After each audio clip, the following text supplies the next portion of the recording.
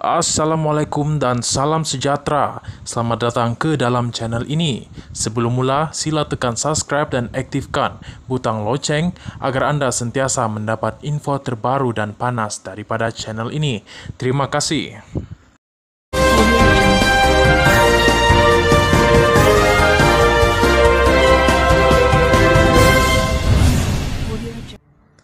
Mukris tak matang, tak bincang bawa pejuang keluar GTA, kata Marzuki.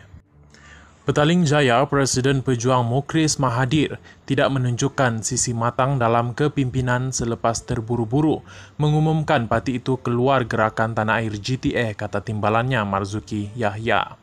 Beliau berkata keputusan itu juga tidak dibincangkan bersama pucuk pimpinan tertinggi.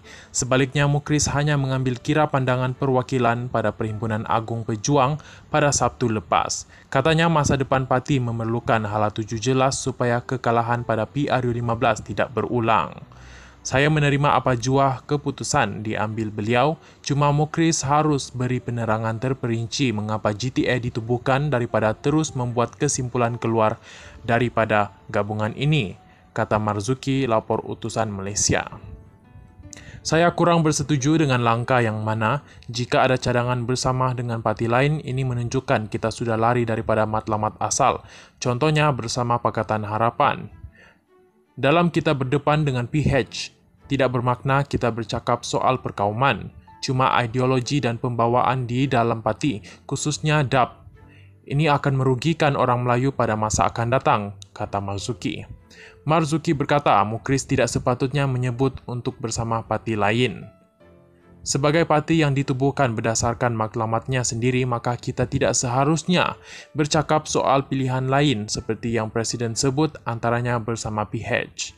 Yang harus ada adalah memperkasa pejuang dan GTA untuk memperjuangkan bangsa Melayu, katanya lagi.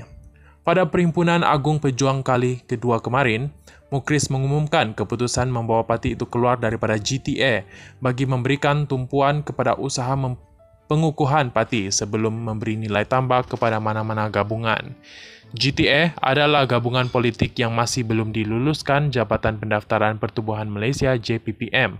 Ia dianggotai empat parti komponen utama iaitu Pejuang, Parti Bumi Putra Perkasa Malaysia, Parti Berjasa dan Parti Perikatan India Muslim Nasional.